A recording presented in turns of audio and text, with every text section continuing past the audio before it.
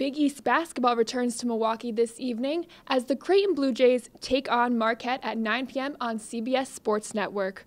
Creighton is looking for its first win of Big East Conference play, while a well rested Marquette team looks to stay hot on their home floor. Both teams have very impressive guards, but it's ultimately going to come down to the play of their big men. Creighton's Will Artino is going to look to capitalize off of his strong play against Seton Hall, where he finished with a double double, 14 points, and 11 rebounds. But he's going to have his hands full with Luke Fischer. The Indiana transfer is averaging a team best 13.1 points per game, and he seems to be that missing post player that this Marquette team has needed. Can Marquette stay hot, or will Creighton secure its first Big East win.